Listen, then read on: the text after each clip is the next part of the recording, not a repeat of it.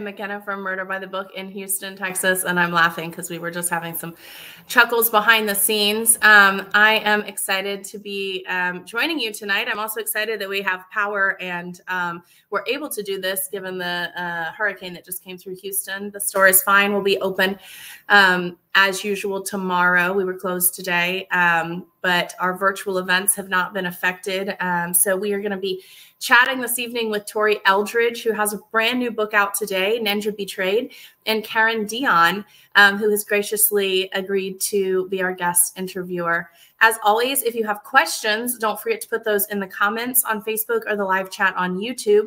And I have a link already in the comments um, where you can find more information about both authors, their books, and um, you can order copies of their books from us. Um, we're going to get around to a fun um, giveaway in just a little bit. But if you do want to be involved in some cool prizes, um, you have to do one of two things. You have to actually have to do both things. You have to ask questions, um, and we'll choose from the best questions. And then you also uh, we would like for you to order a copy of Ninja Betrayed, and then we'll get you a really cool um, present. So once I get um, Tori on here, we'll talk a little bit more about there.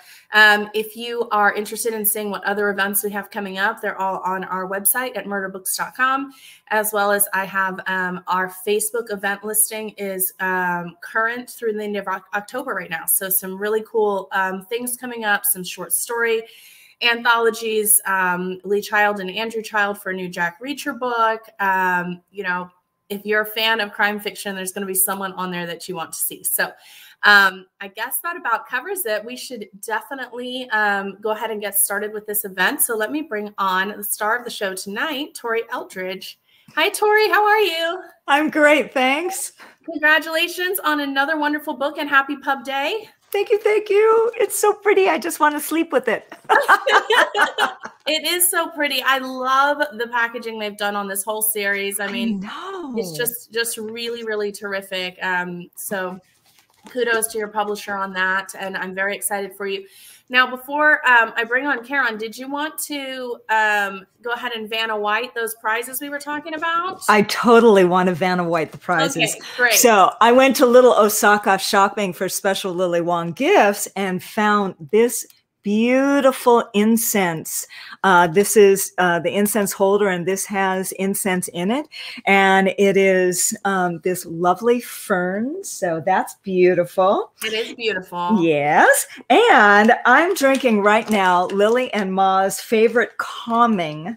Good for this excitement chrysanthemum fresh tea. chrysanthemum tea and Beautiful. i gotta tell you it's lovely i've been drinking it all day because i've been so darn excited and all the books that you get if you uh, get a copy of my book from murder by the book you get a signed and ninja stamped that stamp is so cool bookplate. and yeah. this uh, stamp is uh, my personal ninja warrior stamp and the katsumiyan dojo uh, for toshindo so uh, a nifty little thing. Awesome. Um, I'm going to do your formal bio here really quickly, and then okay. we're going to bring on Karen. so, uh, Tori Eldridge is the Anthony Lefty and Macavity Awards nominated author of the acclaimed Lily Wong series. Her short stories have been published in horror, dystopian, and other literary anthologies, and her narrative poem appears in the inaugural reboot of Weird Tales magazine. Tori's screenplay, The Gift, earned a semifinalist spot for the Academy Nicholl Fellowship. Before writing, she performed as an actress, singer, dancer on Broadway, television, and film. Tori holds a fifth degree black belt in Toshindo Ninjutsu and has traveled the U.S. teaching ninja martial arts and women's empowerment. And as we've already Vanna Whited held up, the new book is The Ninja Betrayed. Yes. It's the third in the series. And if you haven't already read this series, I don't know what's wrong with you. You need to pick them up. So, um, we're also going to bring on here my favorite person of the night because it takes the work off of me. Thank you for being here, Karen. Hi, thanks for having me. I'm so excited.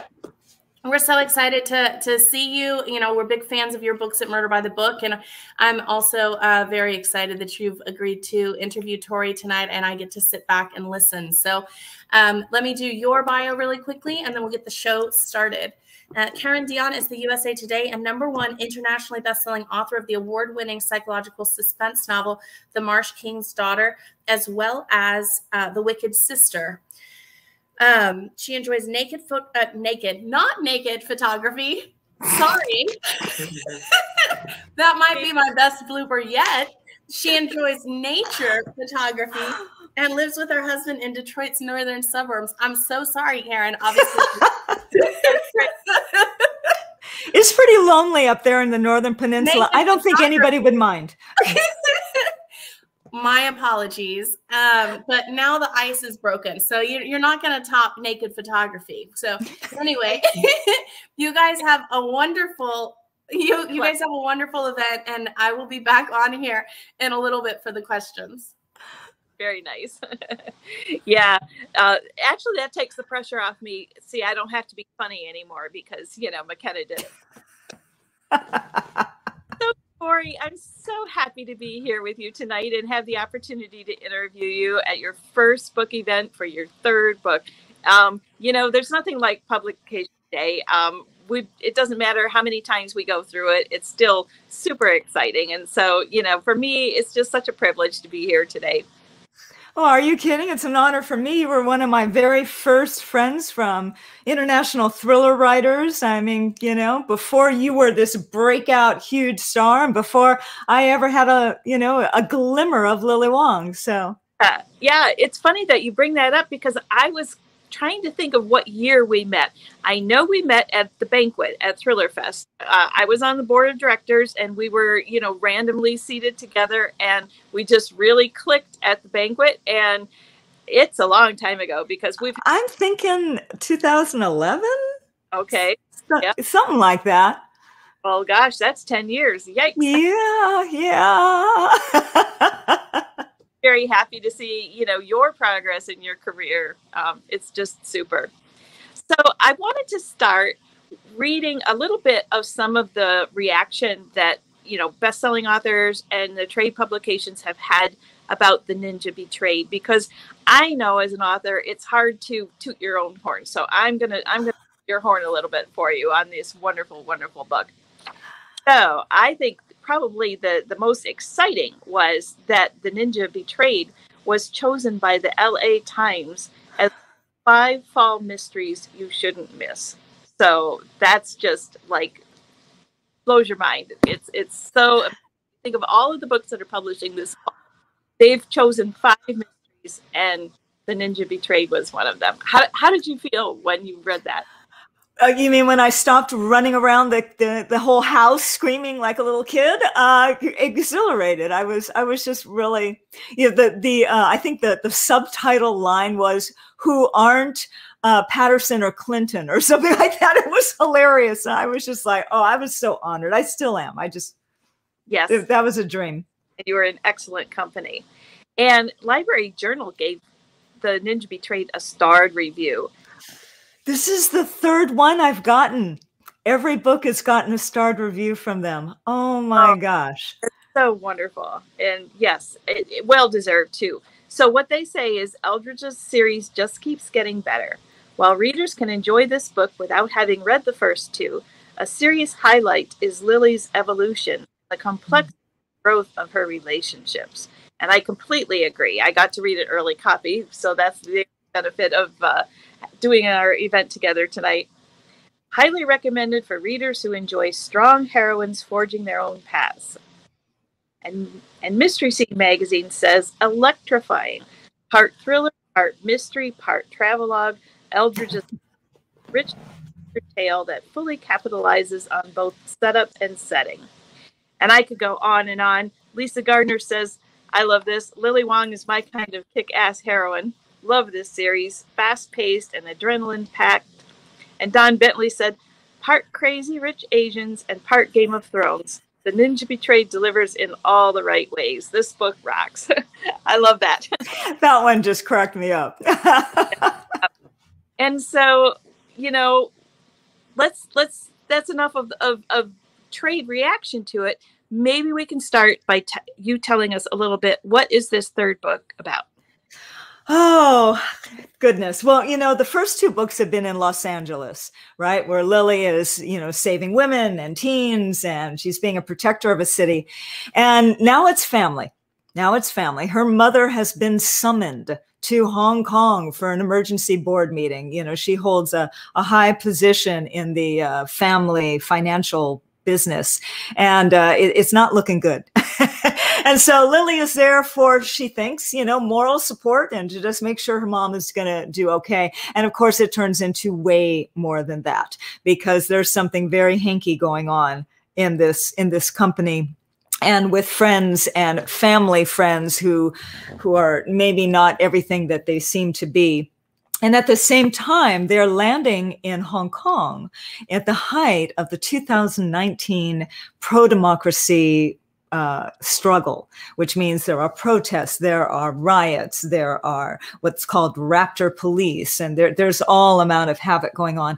And that was a really interesting thing to work on back then. I was writing this in 2020, and this book is set in 2019 in, in September because the second book is three weeks after the first, and the third book is a month after the second.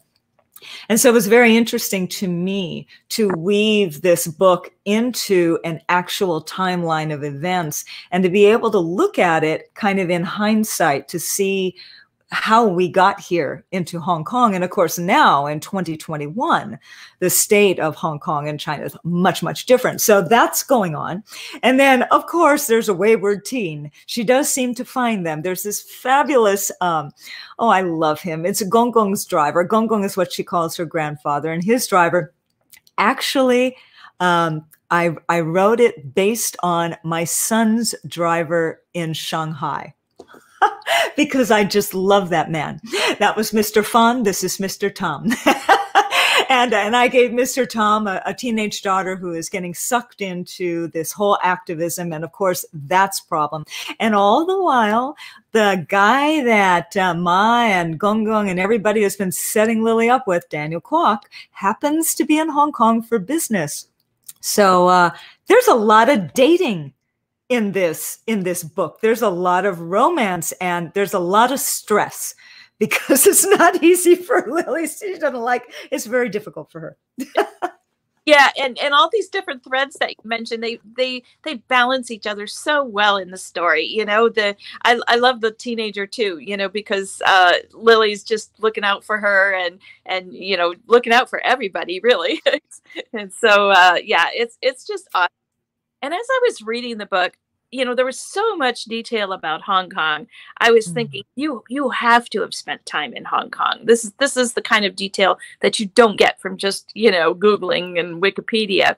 And then, sure enough, a few days ago, you you did a guest blog post on Janet Rudolph's Miss Fair, and I was right. you have been to Hong Kong. So maybe tell us a little bit about the trip and then how that influenced the book. Oh gosh, the, the trip. Oh, what a what a joy that was. Uh, my my son, he flew my husband and my younger son out to uh, Shanghai when he announced his engagement to my now daughter-in-law, and then her parents came in. She's from Hong Kong. They flew in from Hong Kong, and we celebrated Christmas and traveled, and then ended up in Hong Kong, and so um, I was privileged with an insider view because I was always with um, my daughter in law uh, or her parents or her brother or her aunts and uncles. I met her her adorable grandmother. We, you know, she she took me to all the very cool, both touristy and total local, you know, type places to be. Uh, we ate amazing food and amazing street food and you know all sorts of things. And what was really neat was I got you know, kind of this local perspective on on the place and what was going on and uh, made some really great friends. And then when when they were married they got married in my homeland which was hawaii right on the island of kauai. And her family flew in through there. And her dear friend this is my daughter-in-law's dearest friend from high school he flew uh, in there with his fiance and he's from hong kong and he's a linguist and he teaches uh, languages in Japan. And we became, you know, very, very friendly. And so he was my beta reader. I sent the book to him and he was like, wow, you you really you really know hong kong. And then he like you know gave me these like little tiny things. If if you want to be extra local you would say this or you would do that or this isn't quite spelt like that it's spelt like this. And then when it came time for my audiobook narrator natalie naudus who is phenomenal um, she asked me for a pronunciation guide and i went to him and bless his soul, he recorded every single Cantonese and Mandarin word in the entire book. Street names, uh, you know, food, uh, locations, everything, because she wanted the the authentic Hong Konger accent, dialect. Fantastic! What a cool yeah. tale! Wow, makes me want to listen to the audio version. it just showed up on my phone, so I, am looking forward to it. Once I finish listening to Isabella Maldonado's, you know, uh, a different dawn, then then I'll get around to it. now, now that leads to a kind of a side point because a, I know a lot of authors don't listen to their audiobooks. Oh. Clearly, do then. Well, I do because she's wonderful.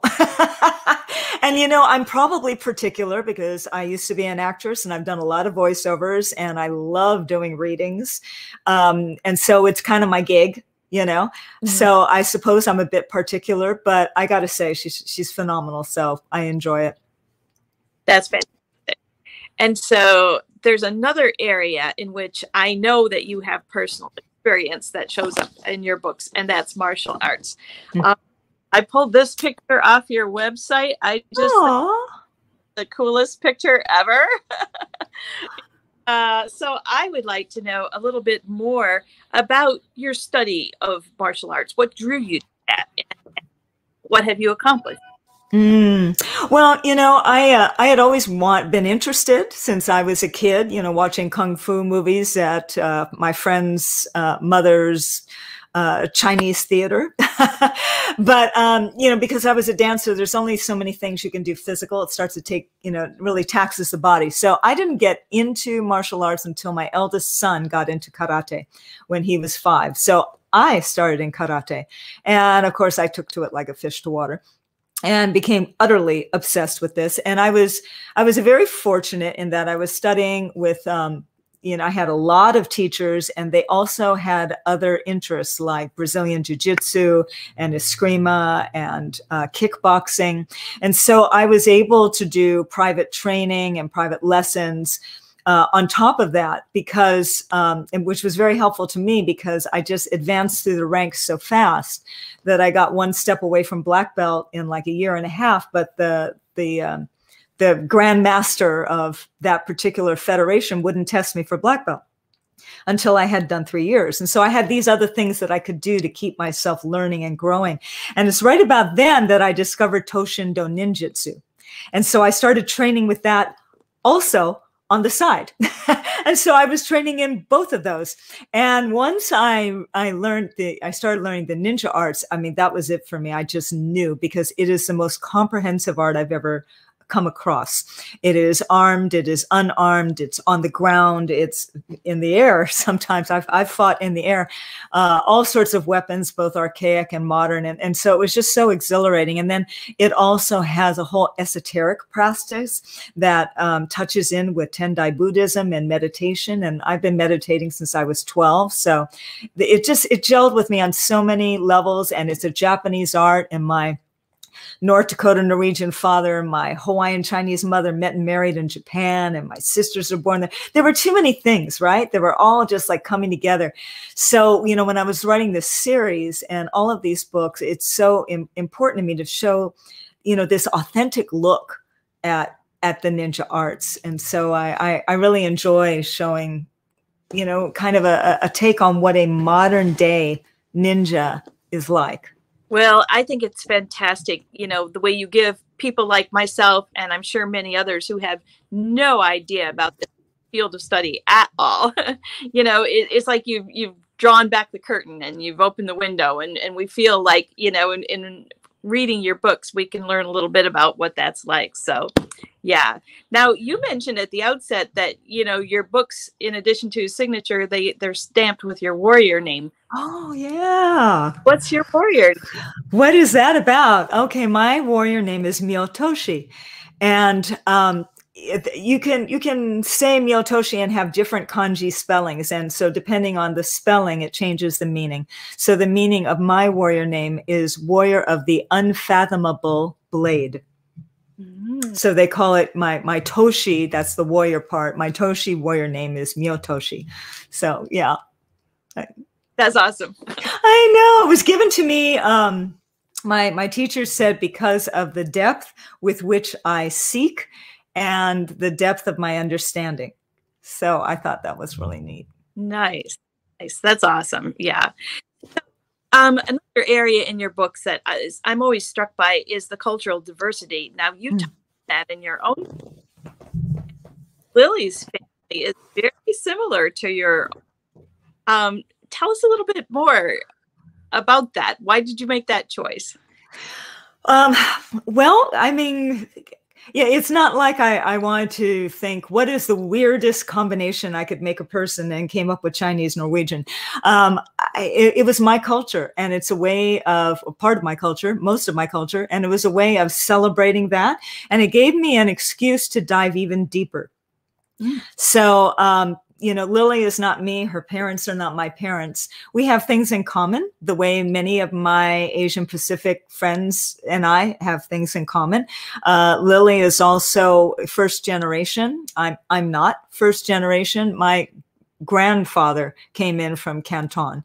Um, so I, you know, I have some things removed. And of course I grew up in Hawaii, which is very different than growing up Asian in uh, mixed Asian in Los Angeles, which is where Lily grew up. So it was um, i really enjoy diving deep into that and finding out you know what what this cultural mix is to lily and how that is with her family and her family dynamic. Uh, she's not one of these people who's pulled you know i don't fit here i don't fit there which way am i? She she is truly embrace both of her cultures equally and of equal importance and they and her parents um, go out of their way to um, to infuse that in her. But it's it's so it's so uh intrinsic to who she is and how things work. So you know this is this book is equal parts ninja action thriller and intriguing mystery and cultural family dynamic. And you know the the goal was how to balance that so that it's all equal and that the pacing never slows yeah, and you you do such a beautiful job with that. Uh, you really do, Tori. Um, I was really struck as I was reading The Ninja Betrayed with how much um, Lily loves her family and her family loves her. And I was thinking to myself, that's that's kind of breaking the mold a little bit. I mean, you know, you, you could say that Lily is like a vigilante, you know, and and so usually these people are loners. Um, they're just acting on their own, you know, the classic Jack Reacher, right? Mm-hmm. Oh, Jack Reacher. She's got, you know, this warm, loving relationship with her family. And I love seeing, you know, as Library Journal said, how it evolves over the course of your three books. And you see, you know, a little you get a little bit more of, of what who she is as a person. It's it's really delightful. Oh, I'm glad. And with every book, you you learn a little bit more about somebody else. Right. That's right. Yeah. So that's that's fun. So let's go back to the beginning. How did you get the idea for the series? What what made you decide to start writing this? Oh, uh, total chance. Um, I, actually, I was working on a novel. I was working on a sequel to a novel that I was shopping. and um, through Facebook, there was a challenge that came in. Can you write a thriller in 200 words?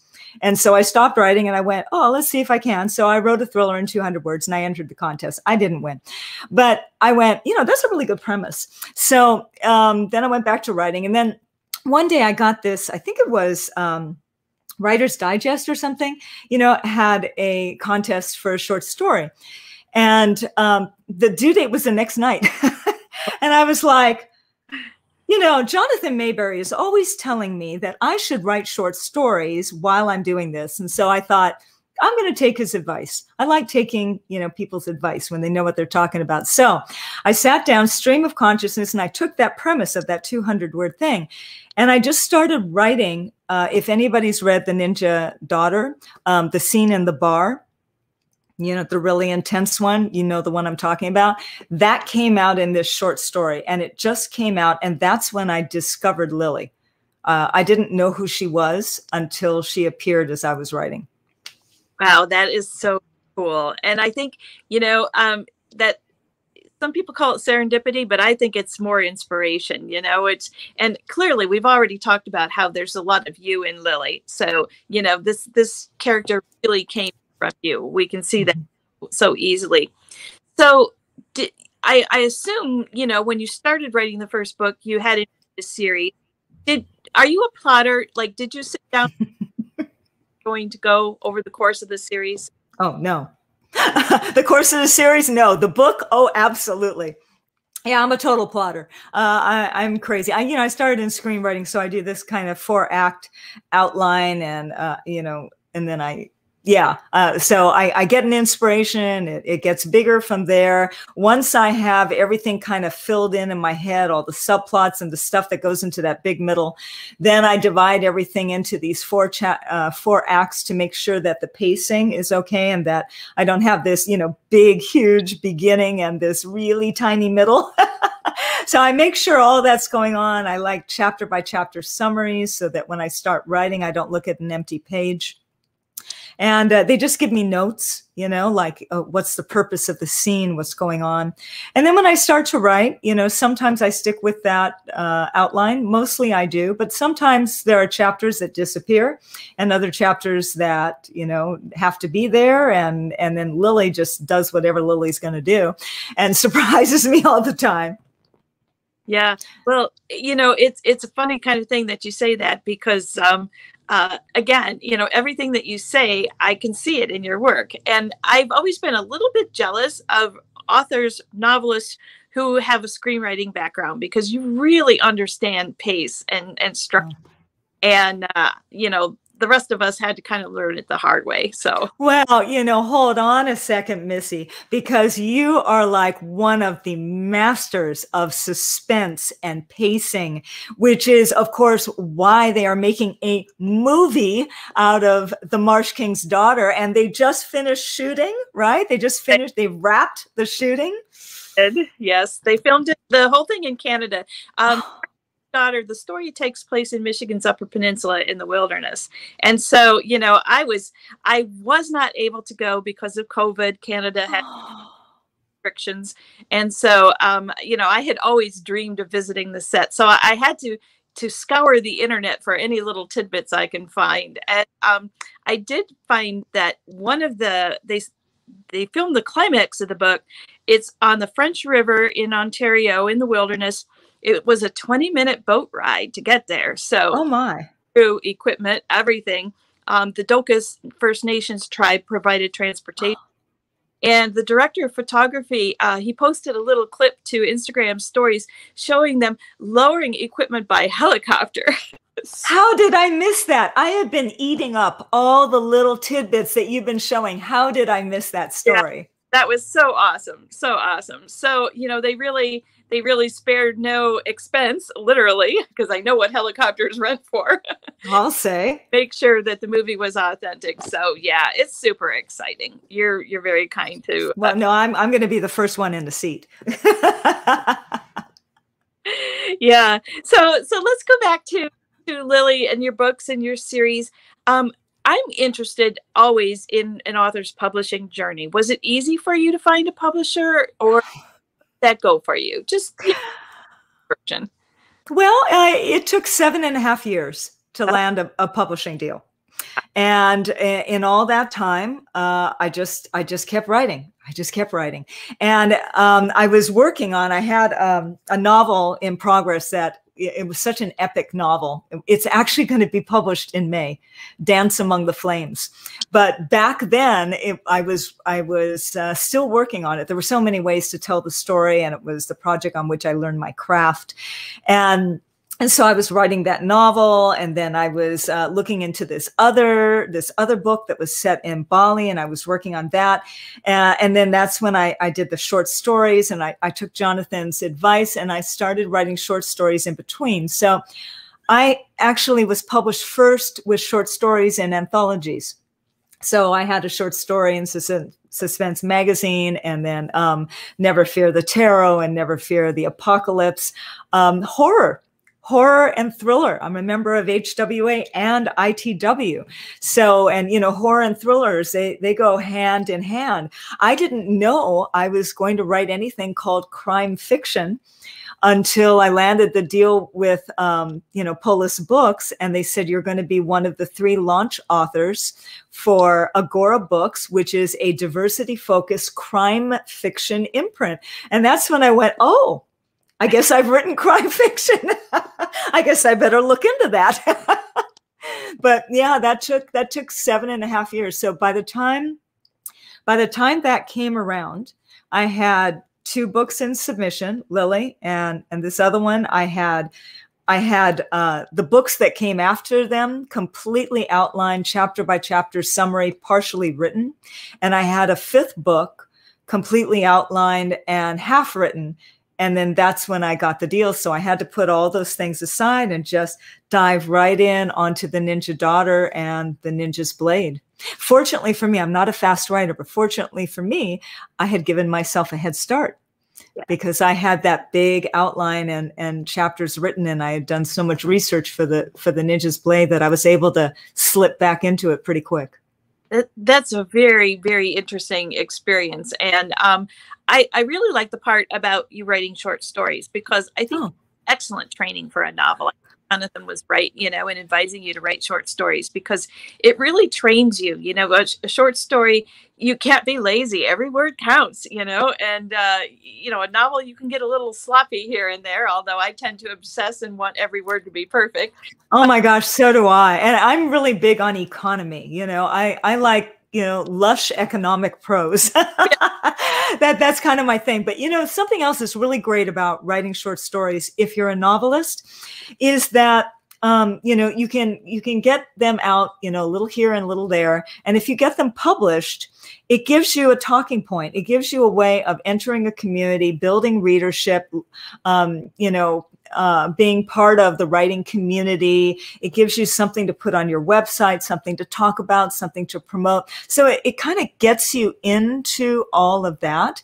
And um, quite frequently one published short story leads to another. Um, I've had, you know, quite a few uh, invitations. I had, you know, uh, Surviving Tomorrow and Running Wild anthology of stories, and but I had to turn down quite a few. And then I've got a new mystery um, short story coming out in um, the uh, Mystery Writers um, Association, Mystery Writers of America, the new Coming Home anthology. I'm looking forward to that. But you know, it's hard. Short stories are hard for me. So I've had to turn down some invitations because it just it can really pull me away. I'm glad you said that because I have a short story in the uh, BoucherCon anthology, and it took me a month to write.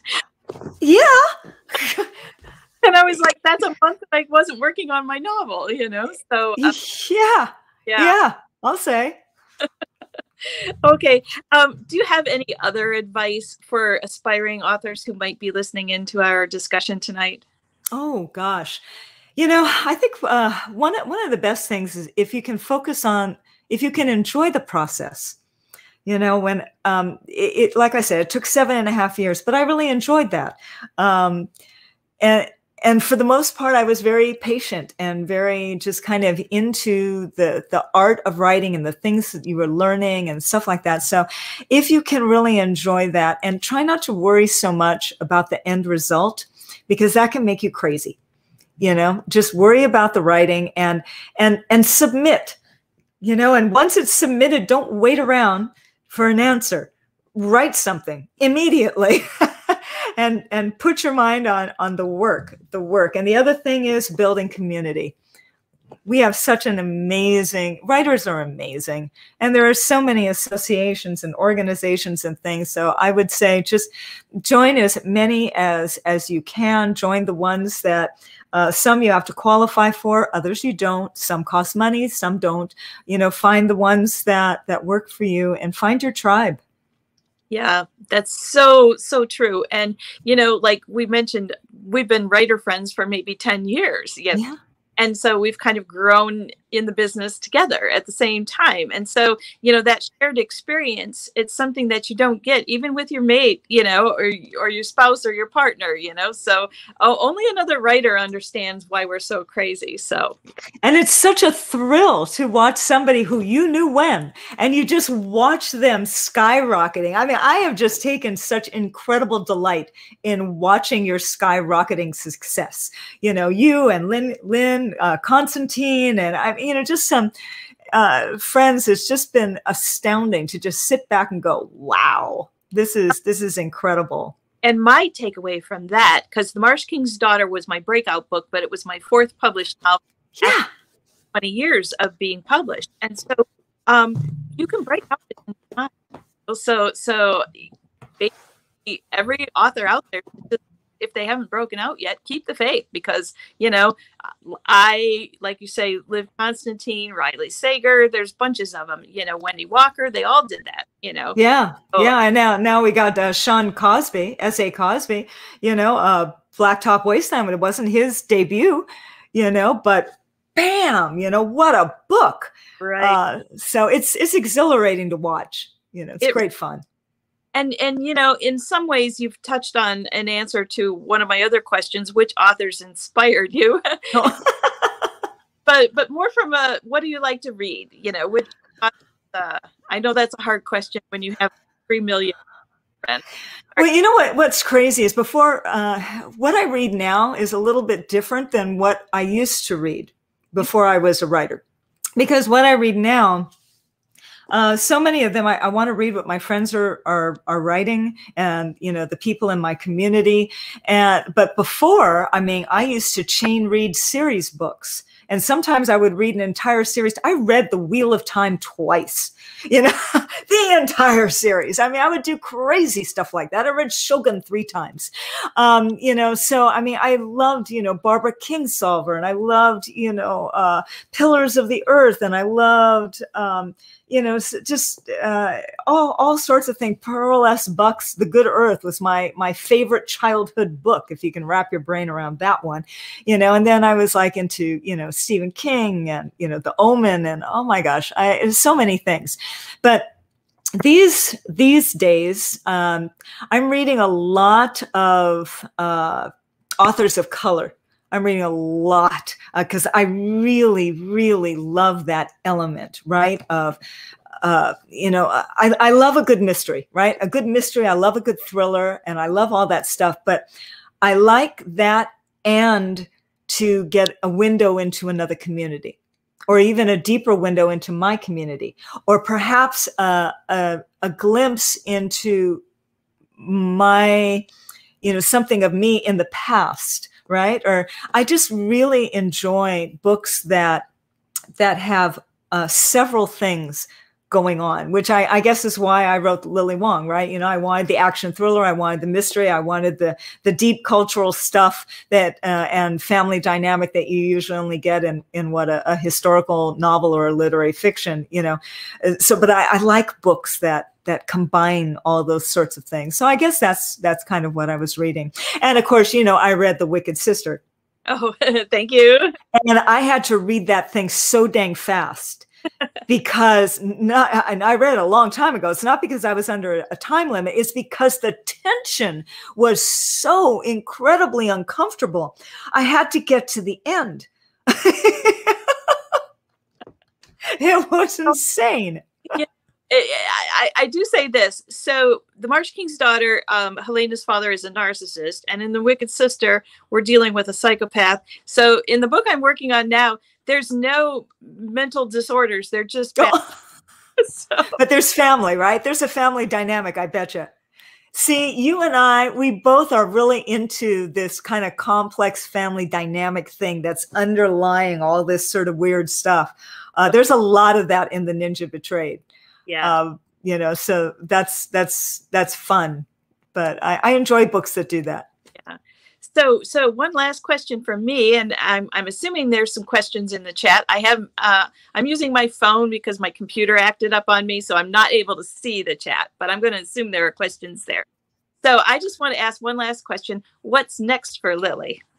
Oh, uh, well, I, I've just, I'm in the research stage of writing the fourth book. And um, I do a lot of research. I'm, I'm a really big into research and um, just because I, especially Lily Wong books are, are woven into actual, you know, I like that fact and fiction. And so I'm in the research stage and it's really pretty crazy because it involves somebody else's family.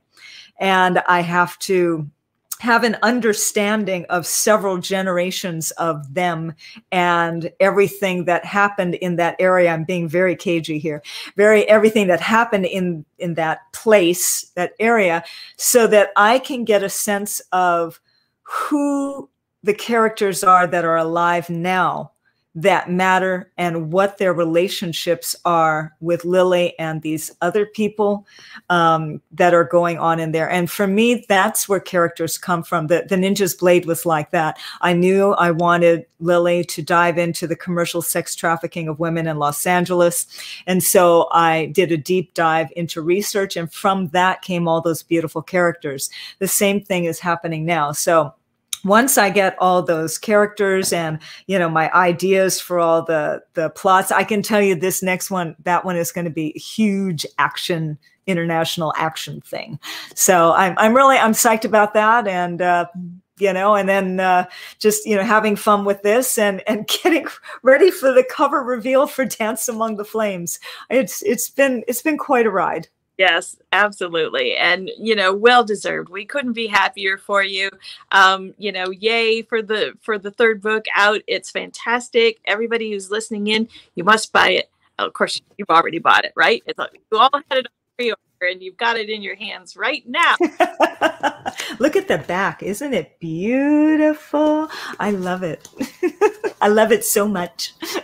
It is beautiful. And Karen, thank you for a wonderful interview. You guys did a great job. Uh, it was a terrific chat. We have a million comments and some oh. questions. So I'm going to do the questions, but um, the way this program works, I have to scroll through them all. So it may take a second for me to find the questions within the comments, but it's always more fun to have a chatty crowd, which we have tonight. So oh, I'm so glad. Great. You'll have to go back and look later. Um, okay. So I just want to remind everyone about the giveaway that um, that is happening if you want to order the books. Um, what we'll probably do is I'll get in touch with um, Tori, yes, chrysanthemum tea, and the beautiful incense burner holder. Yeah, that's lovely. Um, so what I'll probably do is uh, wait for orders to come in over the next 24 hours or so, and then maybe reach out to Tori based on who asked questions, who ordered books, and then we'll get all that sorted out. So I won't announce winners tonight until we see, since there is a purchase component. I failed to mention earlier, it's open to US residents only. I did put that in the comments. So just a reminder, US residents only, um, please. Okay, first question from Shannon. Was this book easier to write than the previous two? Um, uh, hmm. that's that's a really great question. Was it? Um, no. uh, you know, I think the the second the second book scared the bejesus out of me. So that was that was hard in and of itself. When I think back on the third book, come to think of it, the premise came, the whole premise, the you know all the subplots and everything came together in two hikes, very long hikes. Yeah in the hills. I think best on my feet. So I knew I went out for a hike knowing that Lily and Ma were going to Hong Kong on family business. That's all I knew. I came back from the hike with a whole lot of information, put that all down, went the next day on to another hike and filled in all the blanks, came back, wrote that all down, and then it was, you know, trying to fit that all together. So I would say after about a week and a half I was starting to actually write words on a Wow. page, which for me is really fast. Have you um, found the same process, Karen, with your writing? Is it is it how has it changed since the first book? Well, I I really with the second book too, and you know the the follow up to the Marsh King's Daughter is the Wicked Sister. It was it was the hardest. The Marsh King's Daughter was the easiest book I'd ever written, and then the Wicked Sister was the hardest I've ever written. So, and I and I'm equally proud of both. Isn't that true, Tori? You know, Oh yeah. the, the struggle that you might have on it doesn't show in the final version. It's just you know us behind the scenes pulling our hair out. But uh, yeah, much Yeah, each one is different. This fourth one, I can tell I'm going to be in, in research for quite a while. With the second book, I was in research for quite a while before everything came together. Yeah. Um, okay, let's see here. So we have another question. This is going to be for both of you again. If you were stranded on a mountain, what book would you have to have with you? A survival book. I mean, come on. Okay, I'm going to edit this to say In fact, I even know by who. By Okay, right. Hakeem Isler, who is a ninja friend of mine. Look him up. Wow. All right, how Uh-huh. about you, Karen? Well, I'm trying to think of the really big fat books I've read. Exactly. because I want it to last. So yeah, I would, I would, I would want the, the fattest, thickest book. I, I suppose Ken Follett's Pillar of the Earth and World Without, you know, if I could carry them, if we, you know, if, if you did like a, a three book volume, right? you know, and, and then it would weigh like 50 pounds, then that would be pretty good. I read both of those back to back, and they're both over a thousand pages. So They're go- fabulous. I, I love them both. Yeah. yeah. Okay. Um, some commentary on the covers, and I'm going to choose this comment because they color coded their hearts to match them. I feel like that I love that's that. High, effort. Shannon. So good job, Shannon. Um, so let's talk about do you have a say in the covers? How does that process work? I am so fortunate. Yes, I have a say in the covers. They, um, fr- even from the beginning, you know, we we went through a couple of ideas, and then the, you know, um, I I gave out colors and I gave out ideas for you know uh, weapons and things, and the designer came up with this uh, for the ninja daughter that's the first one right? And then i kind of tweaked it. I'm like okay i need more than than just weapons. I need something that shows the japanese and chinese. And they were like on it. We can do that. And then with the second book um the ninja's blade i mean the first question chantel asked me was what are the icons you want? What you know what do you want to say about this one? And then with this book you know, it was the same thing. What do you want to say on this? And the color, this color is jade. Um, you'll notice it is literally my jade. Um, and I got this jade in Hong Kong. My daughter in law picked it out for me. And jade is really important to Lily's mother. It's all her jewelry in there. And so, you know, um, there are all sorts of these little icons. And if you want to know what this is about, all of this, go to Mystery Fanfare. Okay, you know, that's uh, Janet Rudolph's blog, right? And search my name, and you'll come up with a, a couple of essays I've done for her. We did, um, I did a, a cover reveal article that talks about all the symbolism in the color and the icons of this book. Excellent. Excellent. Um, okay, so I think that we'll have some input input from Karen on this next question. Which do you prefer, writing a series or writing a standalone? And is one easier than the other? Well, I've only written standalones. So, um, I, in some ways, I'm jealous of people who are writing a series because, you know, with a standalone, you have to start over from the very beginning, you know, creating the, creating the characters. You're not revisiting them. But I do say, uh, as a person and as a writer, I'm very easily bored. So, I need to start fresh each time. So, I can't compare the two, but that's why standalones work for me. I've written both. Um, I, I just recently finished a standalone dystopian thriller that I'm going to have to set aside for a while because it strikes way too close to everything that we've been going through. It's set in an antimicrobial resistant future and involves a political conspiracy. And now I came up with this idea and I started this book um, is from a short story that was in something like you know 2017, and I started the book in 2018. Half of the book was finished of that thriller before I got the Lily Wong deal, and I wasn't able to finish it until the second uh, until the pandemic started, and that was weird. So. Um, so you know so i did that. And then uh, dance among the flames is is a standalone but uh, it has potential that i've explored. And so you know we'll see there. And then of course lily lily was always going to be a series. I, I knew it from when i wrote the short story. I knew she was going to be a series. So how does it compare? You know as karen says is it's a whole lot of work starting from the beginning because you've got a whole world building with uh, the second and third book, it's it's a lot easier uh, in a sense and a lot quicker in in a sense because I know my main character. I know the families. I know them deeply. I know you know I know the nature of the book. I know the voice of the book. Every book I write has a different voice. The voice goes with the book.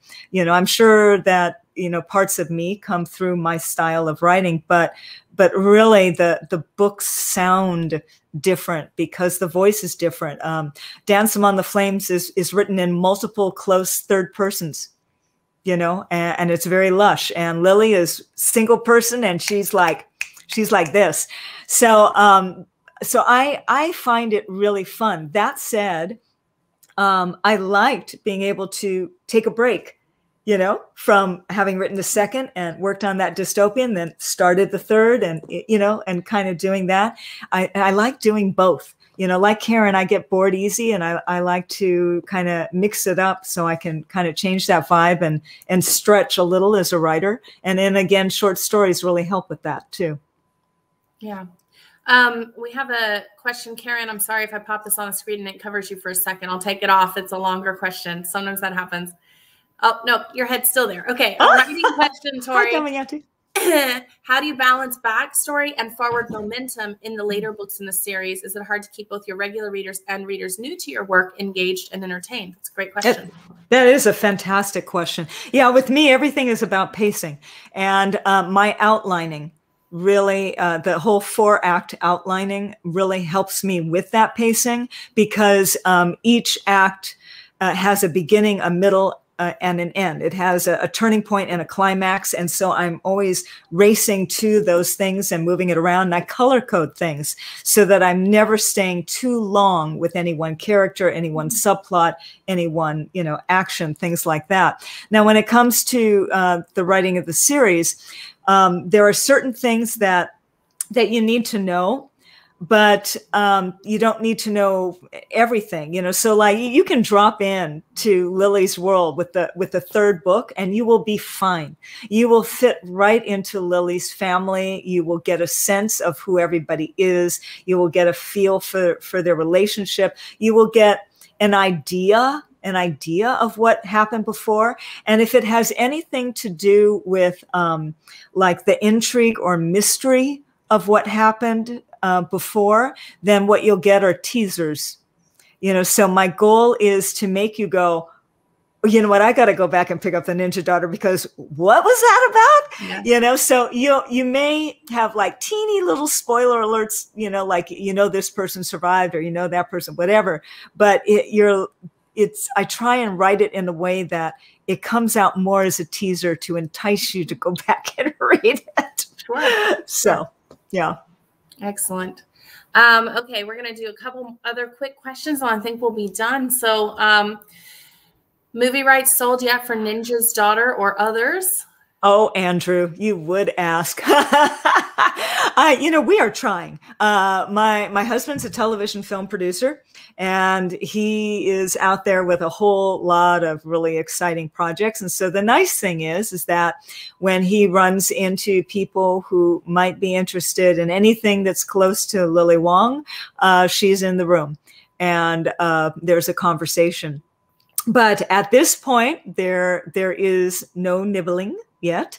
Uh, so we'll just have to we'll just have to see. It's it's kind of a kind of an interesting timing for it, especially with that Kung Fu remake. And yeah. but uh, yeah, I was kind of like, okay, so hmm, we'll see. so well, I don't know, Andrew. fingers fingers crossed. as a producer it doesn't help you one little bit. Well, I was going to say he's not producing your work, but uh, he is opening little doors. yeah, exactly. He's not uh, that kind of producer. He like when he did the Equalizer movies, um, he was the first producer because he's the one who said this should be made into a movie. Let's let's make sure you have the rights. Let's go. Let's shop it. He was the one who took it all around town, and you know, at one point had you know Russell Crowe in it, and at one point had you know all sorts of things before Denzel came in. Uh, but he's not the kind of producer who who does the production or who you know works for the studio. He's the kind of producer who has the project and puts the elements together. So there there are many different kinds of producers. Yeah yeah. Well i mean i'm sure that that there will be a nibble soon because they're so cinem- cinematic. They should work great. Um all right. And the last question i have is have has tori considered collecting her stories into a book Oh, hi, Tina. Um, you know, no, I- am going to pull up Jonathan Maberry again because he's gave me a lot of really great mm-hmm. advice. I remember early on, I asked him, uh, "Is it is it better to do a collection or an anthology?" And he said, "You know, unless until." You have a body of work in short stories where you have such a name for yourself right? That uh, people want a Neil Gaiman collection, right? You know, people uh, that that kind of a thing. He said it's it's much better to be in an anthology where you're increasing discoverability. Yeah. And uh, you're with other authors. So no, I don't have you know any any plans in the in the near or even middling future of thinking about a, a collection. All right. Um, so that's all the questions uh, timed out pretty perfectly. I want to thank Karen for coming in and interviewing and um, doing such a wonderful job, being so prepared. Um, not everyone does this wonderful of a job. So thank you so much, Karen. Tori, congratulations on the third in the series. Happy Pub Day. Wonderful, um, wonderful talk tonight. And all the information is in the comments if you guys want to order books. We will post the uh, prize winners um, in about 24 hours or so, and I'll get in touch with Tori and we'll get those prizes sent out. Um, thanks to everyone for watching, and I'm going to go ahead and sign us off and say good night. Thanks again, I, ladies. I just want to jump in and thank you, McKenna, and thank Murder by the Book for hosting tonight. You know, what you guys do to connect readers and writers is so fantastic. So thanks so much and wow. you're so you're so special to me because you were the bookseller at BoucherCon when I debuted the Ninja Daughter. I remember. And, and it sold out like halfway through the first day, and I was just like, "Oh my gosh!" And well, ever since then, that's a credit to you and your personality and being such a delight because that we never know how many to order for debut authors, and um, we were like, had we known her ahead of time, we would have had stacks and stacks and stacks because your personality definitely shines. So, um, anyway, thank you both. And it's a pleasure to have done this tonight. And um, I hope to see you both in person at some point in the future, hopefully when, when the world gets its act back together. So, um, I am going to say good evening and thank you again. Thank you.